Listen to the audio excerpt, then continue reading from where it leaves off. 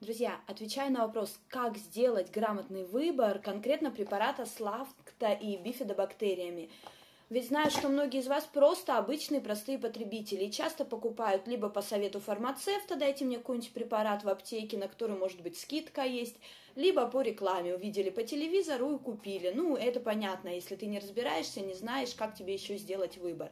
Однако, есть всего три основные вещи, на которые нужно обращать внимание. А, вы будете это знать, и, в принципе, вам будет легко действительно сделать свой выбор. Смотрите, первое, на что мы обращаем внимание, это какое содержание лакта и бифидобактерий содержится в одной капсуле. Если это значение будет меньше, чем 1 умножить на 10 в девятой степени, КОЕ. КОЕ – это колония образующие единицы. Тогда препарат будет неэффективен, либо его эффективность будет очень мала. Также мы смотрим, сколько видов таких бактерий содержится в препарате. Если не указано, сколько конкретно видов таких бактерий, ну, то есть это не очень хороший препарат, тоже не стоит его брать. Давайте посмотрим на другой. Второе мы смотрим, из чего сделана сама капсула. А, важно, чтобы она не растворялась у нас в желудке, чтобы она приходила напрямую в кишечник.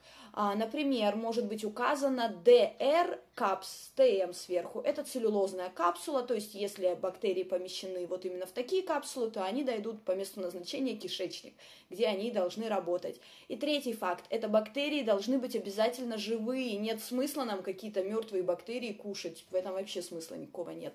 Это легко проверить. Достаточно приготовить из этого препарата, например, капсулу или пакетик, настоящий домашний йогурт.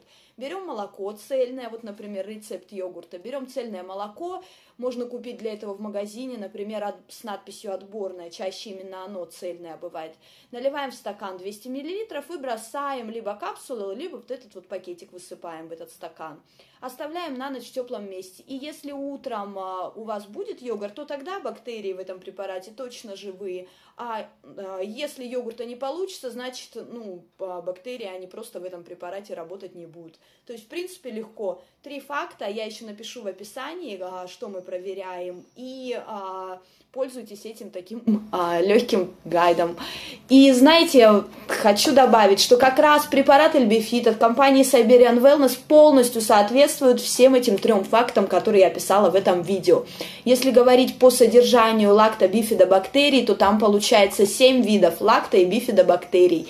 А, например, бифидобактерий 3, 4 вида, количество 5,05 умножить на 10 в 9. Лактобактерий 3 вида, 3,2 умножить на 10 в 9. Также капсулы ДР капсулезные. И я проверяла точно, йогурт из этого препарата получается. Вот такие 15 штучек, недавно совсем купила.